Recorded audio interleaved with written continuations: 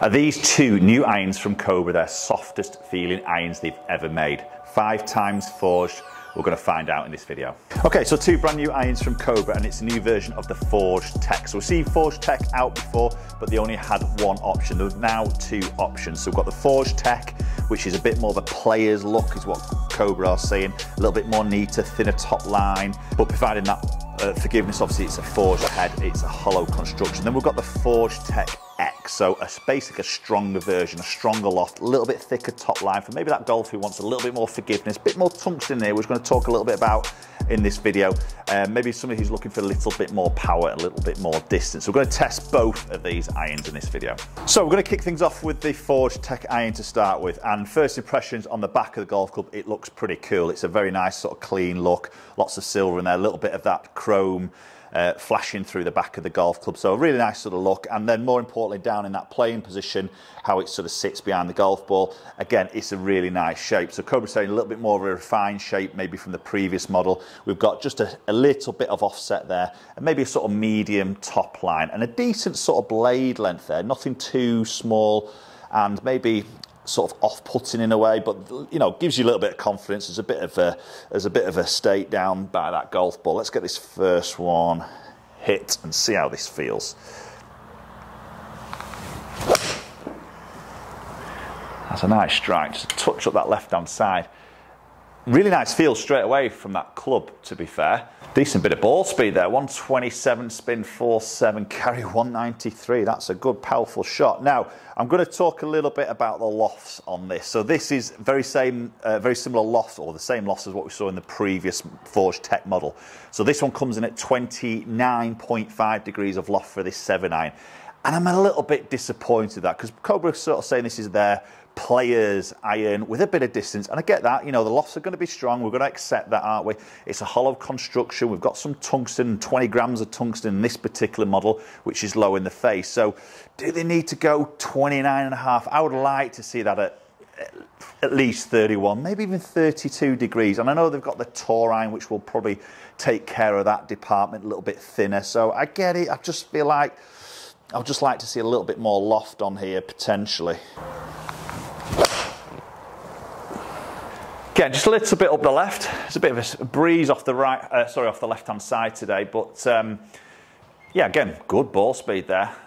Not a bad spin. Once uh, 191. That's pretty good. And uh, you know we know that spin's going to be a little bit lower that loft, don't we?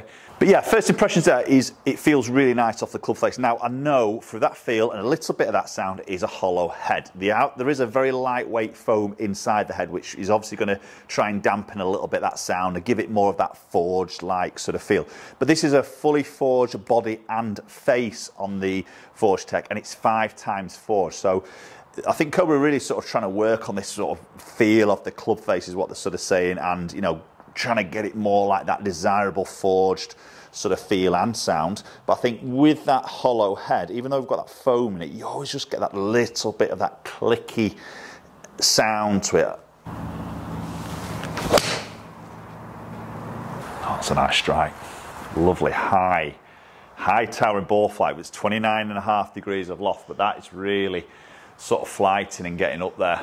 Again, 190 carry. So you see that height, 107 feet. We've got a land angle around that sort of 47, 48 degree mark. So we know we've got some confidence of that stopping power, not just maybe through spin. I know spin's going to be a little bit low with this type of loft, but the height's there, isn't it? And that descent angle's there. So as I mentioned, tungsten sort of in the centre but deep in the head, so which is going to make that ball pop up, which may be one of the reasons why the lofts have to go a little bit stronger to try and control that ball flight because of that extra weight in the bottom.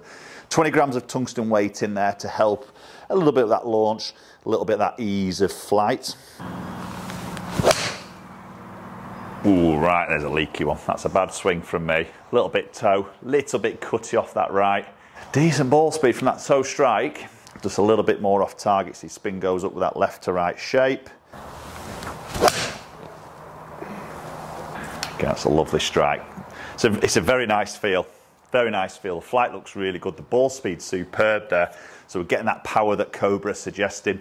So he spins a little bit low, plenty of height, plenty of sort of land angle there as well. So availability wise on the Forged Tec is a three iron all the way through to a gap wedge, available both right and left-handed there. And price point wise for a seven iron set, maybe like a four to pitching wedge, you're looking at 999 pounds. So it's pretty typical in that sort of forged hollow construction head that we see maybe other brands, very similar sort of price point. So switching over now into the Forged Tec X. So possibly you're looking for maybe some more distance, a bit more of that ball speed, but you still want a bit of that forged feel, and maybe moving from that game improvement iron and making it look a little bit better as a look of it as opposed to a big huge cavity in the back of the iron potentially.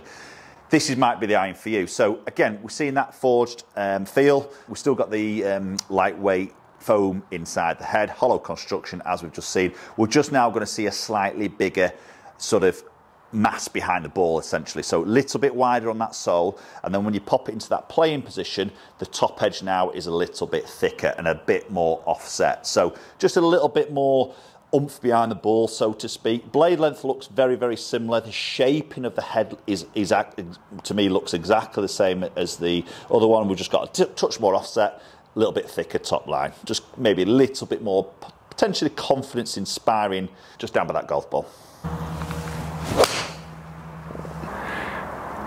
A nice strike to start off with. Again, straight instincts, first instincts there, sound, feel, look, feels exactly the same, sounds exactly the same. I say just that little bit of difference in that appearance, and straight away they see that ball speed, boom, jumps up, 131.3. Now that's because the loft, you wait for this, on the seven iron is 27 degrees of loft. It is strong, okay? So two and a half degrees stronger than what we see in that first one we hit, the Forged Tec. So really this is just really aiming to try and get that ball speed up. But compensating that a little bit, there's more tungsten in this. So there's now 65 grams of tungsten low and deep in the center of this club head, as opposed to 20 in the Forged Tec. So they maybe just compensate each other a little bit, don't they? More weight down is going to help to hit the ball a little bit higher. They can maybe then afford to strengthen lofts off, still getting a decent sort of launch there, a decent height, 103 feet, you can see, in a land angle at 45. So very similar peak and descent angles are seen in there with that more of a stronger loft, probably with that little bit of weight in the bottom. Ooh, that's a little tester. That was a bit of a low one in effect. I'll tell you what, still up there, even though that was a quite a bit bottom groove. Lost a little bit of ball speed, but not a huge amount there, a couple of mile an hour. But still got that distance of 194, and obviously just a touch low on that launch and the peak height. So just maybe testing that bit of forgiveness, that 65 grams of tungsten low there, just matching up to where I've just struck that a bit low in the club face. I think this, I see this being quite a popular iron in my eyes because I think there's so many golfers out there who aspire to play this what looks to be a more of a player's sort of club in a way. You know, the looks on the back. I've got the word forged there. That's generally associated with that lower handicap golfer, isn't it? Um, but they're getting that maximum forgiveness of, you know, in, in the head with all that tungsten there, the hollow construction, the stronger loft, maybe for the ones who want to get that um, that little bit of distance there, but also that bit of confidence down by that golf ball. You know, I think this could, you know, a, a, a high handicap golfer could easily play this iron in, in my eyes as maybe as well as potentially a lower handicap golfer, depending on or he or she feels with that stronger loft and the spin.